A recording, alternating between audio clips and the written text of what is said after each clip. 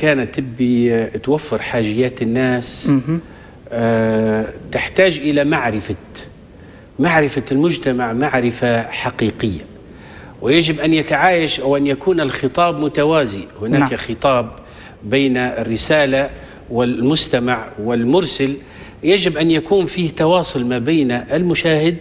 وما بين ال ال القناة أو الوسيلة اللي هي يعني في الفترة اللي هي الوسط اللي كانت فاتت الأربعين سنة نعم كانت مرحلة صعبة جدا والرسالة الإعلامية هي كلها مرسلة. كان المشاهد فيها والمستمع فيها هو في دور المتلقي فقط نعم لا علاقة له بالمشاركة.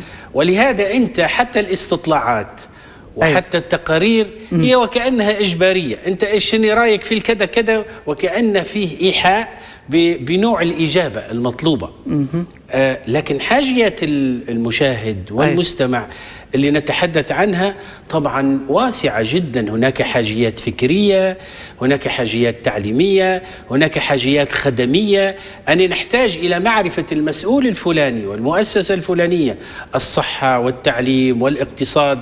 أنا محتاج إلى نعرف معرفة تقارير صح. آه، تقوم بها المؤسسات الإعلامية الراديو والتلفزيون والجريدة وإلى غيرها إلى معرفة مقدرات المجتمع. وين الثروة متاعنا مشت هذه كلها من حق المواطن على هذه المؤسسات أن أن أن تقوم بها هذه. نعم. لأن هو في النهاية المؤسسة الإعلامية تقوم بهذا الاستطلاع طبعا لا نغيب عن مسألة المواصفات المهنية يعني نعم الشفافية والحيادية والموضوعية مصداقية. والأمانة مهم. والمصداقية كل هذه وغيرها. نعم. يعني فيما يتعلق بهذا الجانب مسألة الخصوصية الآن انهتك سترها.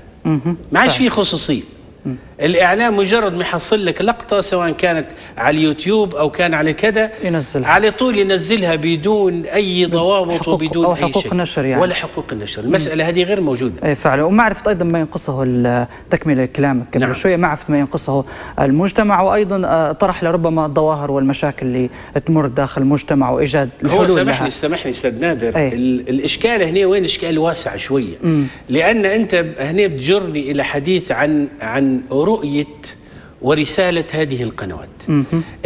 فيما سبق كانت الرسالة الإعلامية التلفزيون والراديو وغيره. كان فعلا عندها رسالة واضحة ويؤدي في أي. ويشتغل فعلا من أجل المواطن يرفع مستوى الوعي عنده. لكن الآن معظم المؤسسات إلا ما رحم ربي الخطاب أصبح مؤدلج. إما أن يكون هي رسالة سياسية أو تكون أيديولوجية أو تكون اختصاص هي مختصة ما لهاش علاقة بشأن المواطن يعني. نعم طيب أستاذ